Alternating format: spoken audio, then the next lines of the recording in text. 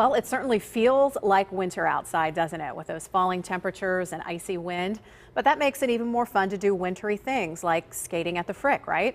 Well, joining us now to talk about the first ever Winterfest and the plans for the season is the executive director of the Frick Pittsburgh, Elizabeth Barker. Elizabeth, thanks for joining us tonight.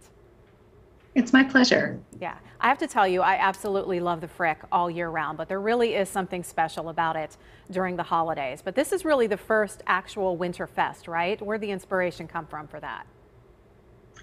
Our team was trying to imagine a way to pay it forward. Um, we've been so grateful that people have continued to visit us during a challenging couple of years, and we thought how wonderful it would be if we could open up our beautiful grounds so that anyone in the city who wanted could come and stroll and see the lights, take advantage of the skating rink, the horse-drawn carriage rides, the cocoa for little ones, and spiked for the grown-ups. We even have a frost fairy coming, storytelling. I think it should be a wonderful week.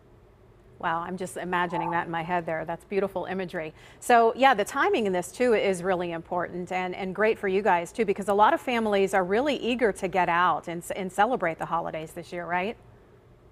I don't know about you, but by the end of December, I've done a lot of shopping. Yes.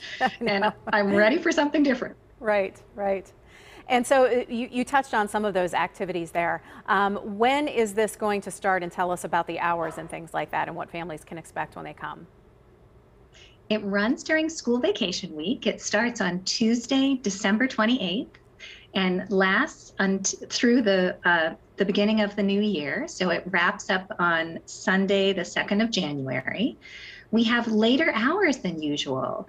We'll be open from noon until 7 because we want people to appreciate the beautiful lights after sunset. We're encouraging folks to schedule, if they can plan ahead, their skating times, but we expect there will still be plenty of opportunities for folks who just walk up.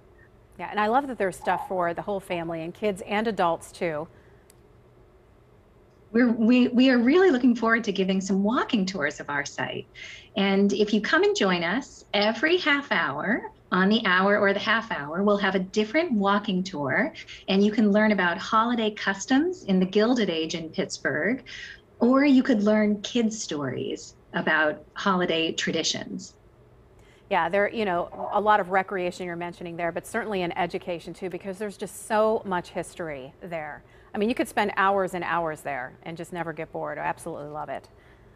We would love that too. And of course, the museums will be open and folks may need a little bit of a warm up.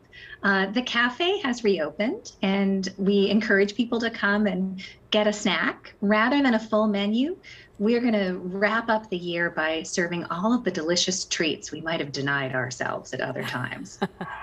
I love that too. That sounds like a plan. Elizabeth, thanks so much for joining us. I'm sure you have all the information on the Frick website. We have all the information about uh, Winterfest on the KDK website as well. Thank you. We'd, we'd love right. to see everyone there. Wonderful. Thanks again.